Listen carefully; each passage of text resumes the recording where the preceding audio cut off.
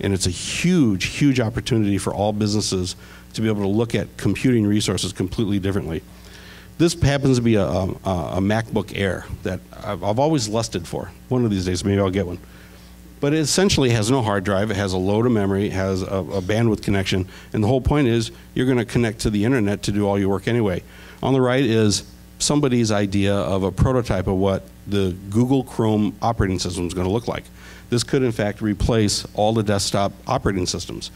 But all of this is there to do is to simply connect you to the internet. All the actual applications you run will, will literally execute someplace else and they display on your machine. This is happening, and it's happening quickly. But it's not just PCs, it's not just laptops. There's all sorts of mobile devices, all kinds of handheld devices that are becoming increasingly important. Already, there's somewhere on the order of around a billion or so um, connected computers on the internet, meaning people that have access to laptops or desktops and they get on the computer. But there's 4 billion, 4, 4 billion mobile phones. And many of these mobile phones have at least the ability to do text messaging, and if not, much more advanced things. So, already, if you go to places like uh, China and India, certain places like Brazil, where there's a heavy use of social media, the preponderance of the connectivity is actually via mobile devices, not through uh, personal computers. Only us in the affluent countries can do that. You can also see um, I'm, I'm glad somebody's going to win a Kindle. I love my Kindle. And I never thought I would, but I bought one when the Kindle 2 came out because it's like, this is intriguing. I read a ton of stuff. Let me see if this actually works for me. And again, it's not one of these things I find that I read everything on the Kindle. I still like a book now and then. In fact, Dan Brown just released his book yesterday.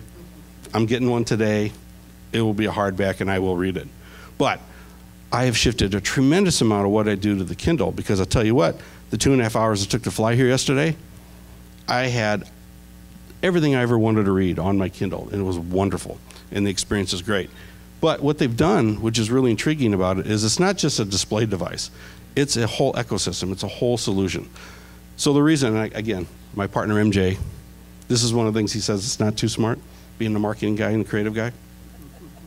He thinks, well, the iPod wins because it's the best, you know, it's got the best design okay, fine, it's a nice design, but is it really great? Is it that much better than anything else?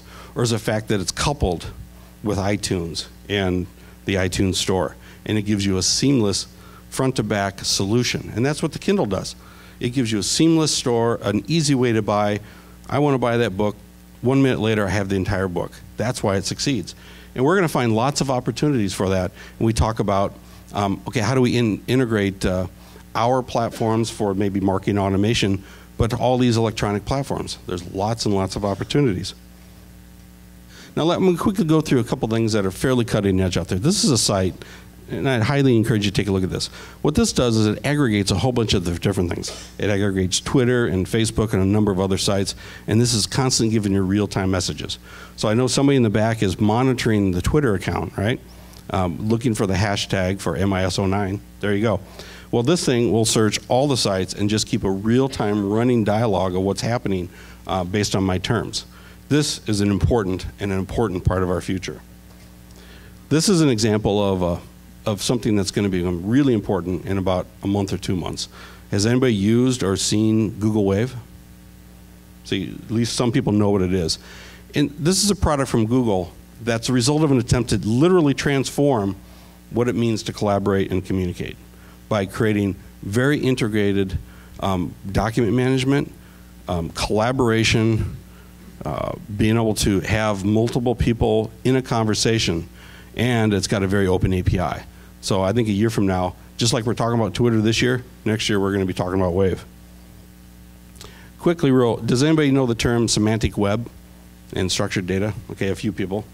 So this is a really interesting example of how that's going to be important at some point.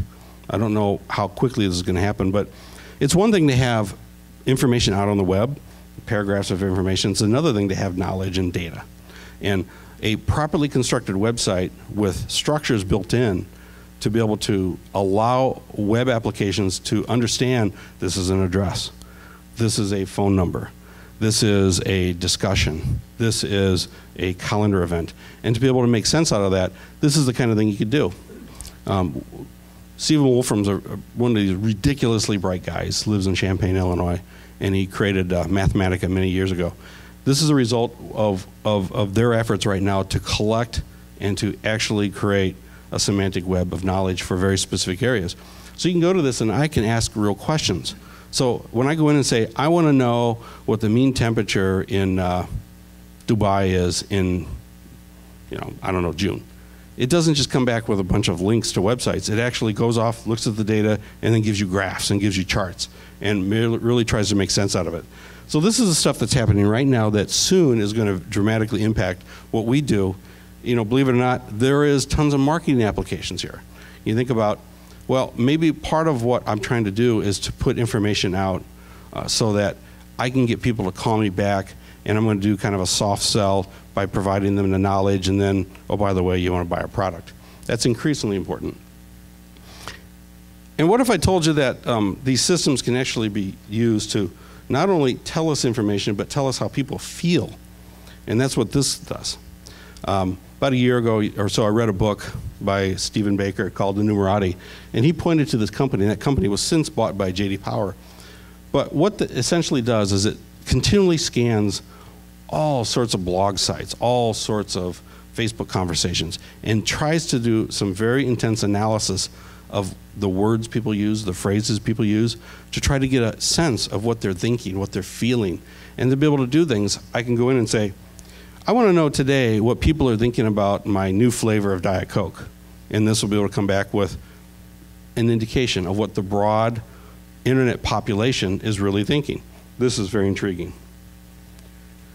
But what's going to happen is um, everything's going to become very, very integrated. The next step of everything that we do here is all about integration. It's about not only are there a plethora of social networking websites and search engines, but I want to be able to connect these in an intelligent way. So here's an example of a very, very simple way you could do that.